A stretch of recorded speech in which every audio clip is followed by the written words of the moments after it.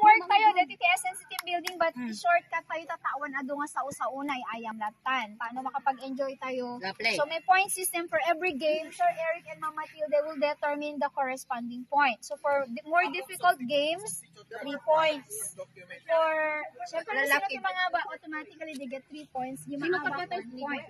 So, did you do right lang 1 point. Ay, 2 points. Um, yung second, sila naman yung 1 point. So, yung highest points, yung ma-accumulate na ng points, will emerge as first. Wait, for, ano naman, tayo.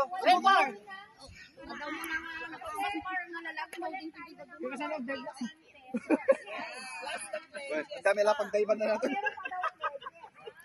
But other than that, syempre, ah, Super matigat mo namin eh.